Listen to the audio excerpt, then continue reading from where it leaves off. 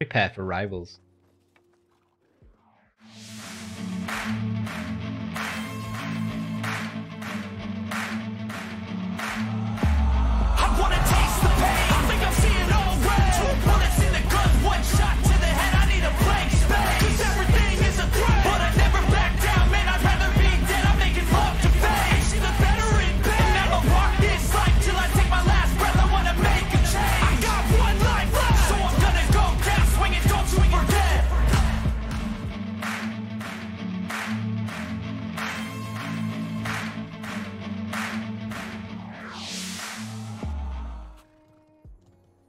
Right.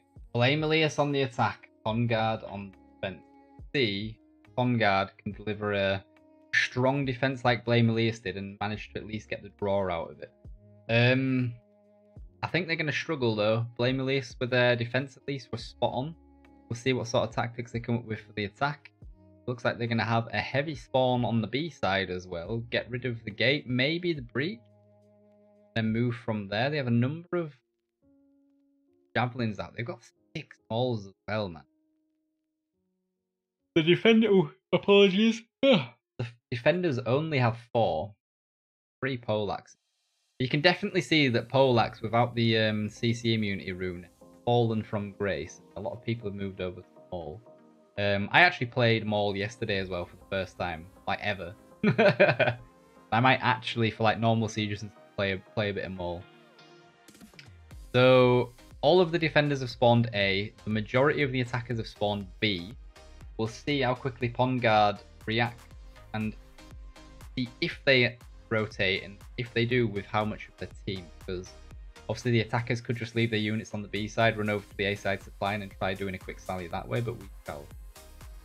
The defenders have got Zakalian now, they've got Shenjis, they've got one Flamer, a couple of Iron Reapers, of Palace Guards.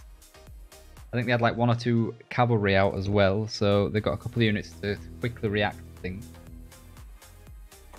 Winged Hussars as well is one of them. Okay, I clicked on that already. Right, so it looks like they spawned at B. They've got mm, a lot of their heroes just running over to the A side breach.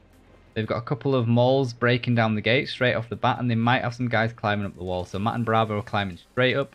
Bravo has Berserkers, and Matt has Armigers. So Matt's probably going to jump straight off the wall as they, they see. That was basically just to make On Guard rotate this way so they don't have a setup over here. The breach is about to go down. The breach is now down. That was Javelins doing their work. They're probably going to go back and get some more ammo. On Guard are rushing into position on the A side. B side gates down. There is no one on B though. So Bloodstory and Aaron are going to get on the B and start putting a little cheeky cap on already. I don't understand why they didn't go on and touch it at least. Because they would have got a little bit of uh, got a little bit of uh, cap points off and it would have forced On Guard to have to react. Possibly Matt might go in now and do it. Aranor and Bloodstory are obviously both still there. So they've got three heroes from Blame Elias on the B side.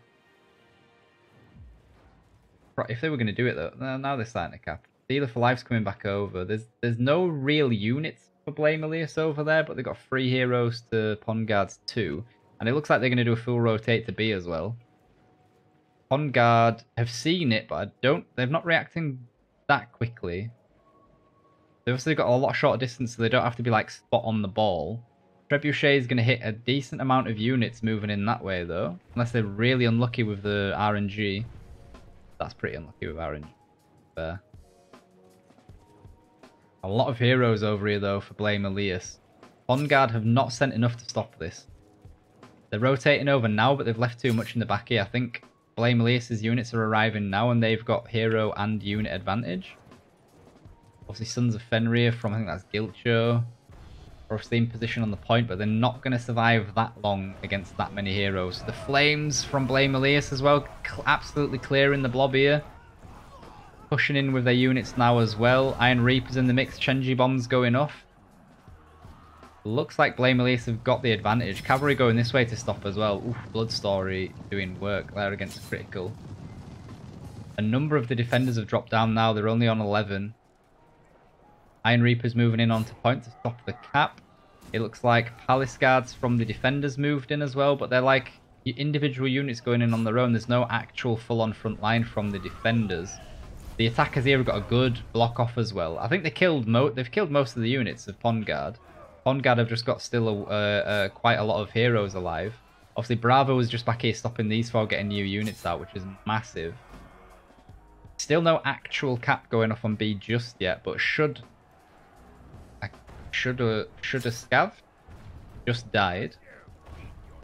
Decent Treb going down there. At least they're just zone units out, so they can't just push down here. Too nice jumping in now. He's not going to survive long with that many heroes on there, though. Cavalry charge. Actually did work, man. With such a short run-up, cleared straight through the first line of defense. Broke open the deformation so that Critical and some of the other guys could move through. Well, I think Critical was actually the guy using the cavalry. The cav that second cavalry, Winged Hussar, man. Whew straight through the front lines there. That did a lot of work to clear it. Obviously, only six of the attackers alive. Blame Elias now putting pressure upon A, though. You got Asianism, Asianism. Just managed to get over there and stop them, though. Elise is still just running around. Lord Monka's pulling back. Blame Elias should pull back here. They've still got four minutes. Uh, they basically just have to touch B, and then they've capped it. They all spawn in A. It's like they've just massive wedge of the guys have just spawned A. I think what they're going to try and do is just force a fight over in and then just send somebody into back cap B. I think that's what it looks like. Unit-wise, the attackers have done slightly better than the defenders so far, but it's like literally 20 units. It's not really nothing to talk about. Um, come on, game. 12 to 10 hero difference as well, so there's only two hero difference. Nothing massive happened in that region so far. Obviously, I'd say Blame Elias have got the advantage so far because they've actually managed to get almost a full cap off on B. Um, they've touched A as well, so they've got they've done they've done a bit. They've done a bit already. So Mr. Fox going around with his Armigers, yes, and he is going to run over Palace Guards. There's no hero. Oh no, takedown is there, so he will be brace them. So Elias eventually just killed Mr. Billy D. The defenders have dropped a hero. Flames from the defenders, though. But Bloodsaw jumped on top of them. I think he may have just killed them as well. Mr. Tok ignored the palace guards and charged in from behind. Hero-wise, it's still very even. There seems to be... I think it's actually fairly even because there's a lot of red units here. Those Winged Hussars are going to come in now, though, and do work from multiple directions. Pond Guard's use of Winged Hussars so far has literally been doing work for him, man. Especially uh, mixed with, I think there's an IPG walker. Is that that must be an IPG walk going off there as well. Vanguard have stabilized massively there. Flame Elise have dropped a lot of heroes. They've still got a couple of guys on B just to be safe as well, because they know if it gets touched, it's basically gone. Both teams are dropping heroes now, though, 9 to 10. There's definitely more units for the defenders even on the point. They've got some Shenjus back here, some attacking Iron Reapers coming around now to get into the Javelins. Thank you for the follow, Yuki, Shimoto. Much appreciated, my guy. Like three units of Winged Hussars just running through everything. very, very close. 1 minute 46. Oh, Deja Vu's got B, though. Deja Vu's got B. Good back cap there. Sakai is not going to be there on time. Oh, no, he is. He got his unit in. What did he do? Just He must, they must have been sud right then. He just V'd him. Deja Vu's just been killed, I believe. Yes. Sekai managed to, uh, with his right click on the pike, managed to dismount him, and he looks like Deja Vu's probably going to die. Elias is jumping in there now as well, though. A couple of guys respawning on the B side, guys running along the wall. We've got a minute to try and get in here. We also need to keep pressure upon A so that not everything can rotate to B and try taking B now.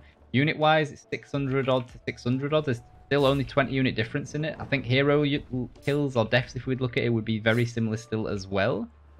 Blame Elias are getting a lot of stuff up on the B side, though, now and they're keeping enough pressure on on A to force Pond Guard to have to still defend A. But they're definitely getting work done on this B side.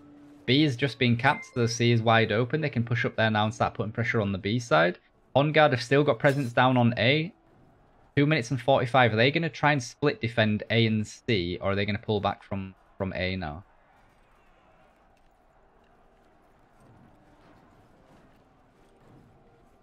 Think you can see them umming and ahhing. Are we going to stay? Are we going to go? Shields aren't the quickest units, so maybe they should just keep them here and stay. Um, they pull they pull back to end point. They're not they're not going to defend. They're not going to defend the. Problem is now that they took so long to do like to retreat down here that all their units are getting ruined.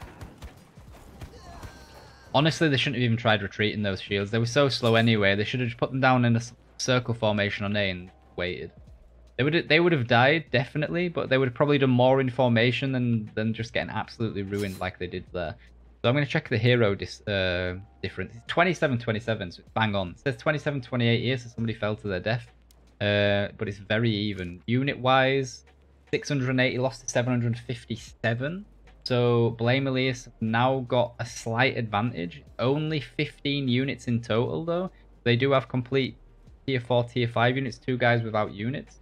On guard have at least four without units, and like I've said numerous times so far, um, the attackers have a huge advantage when hitting the base point on Heilung Fjord. They still have five trebuchets and they have six minutes to get up here.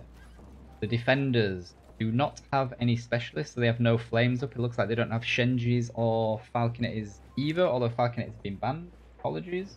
Falconetties and Cataphracts have been banned, so I shut up. But they don't have any specialists for the final push point. And Black Death, thank you very much for the follow as well, my guy. Treb coming in. Unlucky that that second one didn't hit. Unlucky that the third one didn't hit. And unlucky that the fourth and fifth ones also didn't hit. Rough times. So, Pond Guard have got five players without units.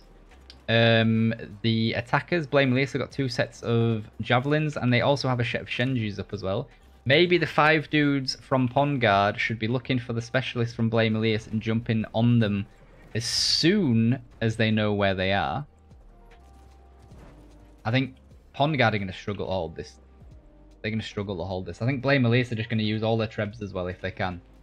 Move in, get one good push off, push them off the point, wipe it basically, and then then they've won.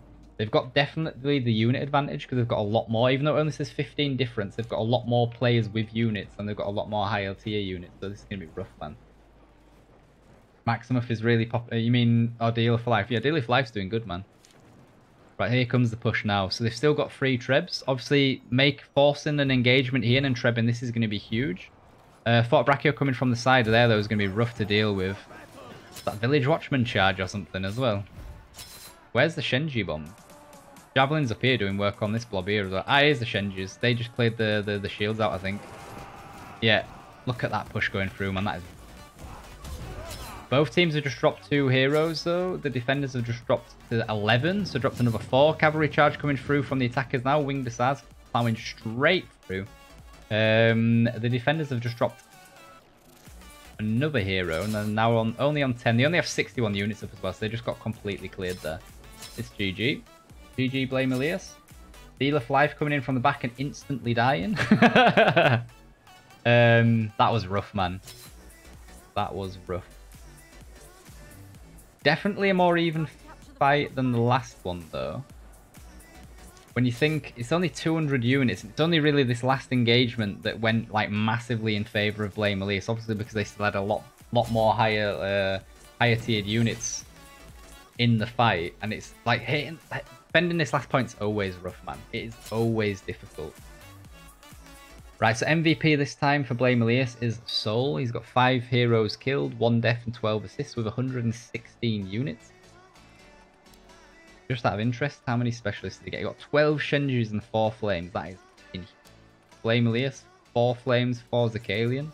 Again, very well done on getting rid of specialist units. It's like the main thing you need to do on in situations like this. You need to find the units that are going to CC like a big blob. Like Flames and Shenjus are huge for it. So with Falconet is. And you need to jump on them as soon as you can and just get, get them off the field as quickly as possible so they can't they can't be a deciding factor. And like Sakai here, 17 Shenjis, man. That is a huge unit to kill. And that's like a unit in a bit as well, so GG to Sakai for, for, for doing that, man. Rough, rough, rough fight, man. That was glorious. Like the the the winged Hussar charges from Pond Guard there kept them in that fight for so long on BNA, like just coming in at like perfect timing. And Flame Elias won the first engagement, if you like, when they first put front of B and got like a 80 90% cap off of B.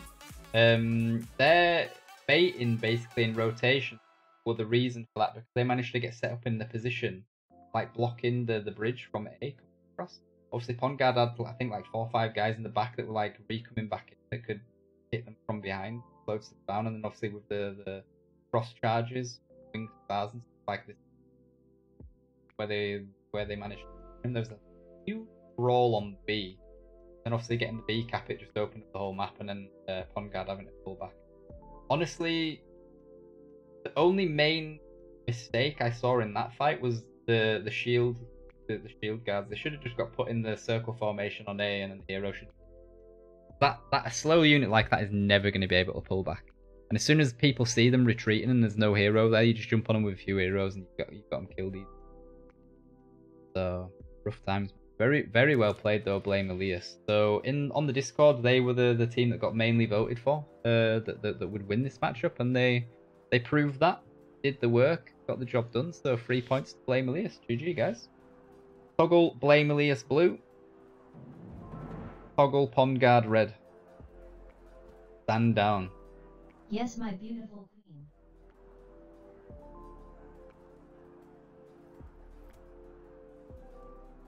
Right. Well, boys, that those are the matches for this weekend.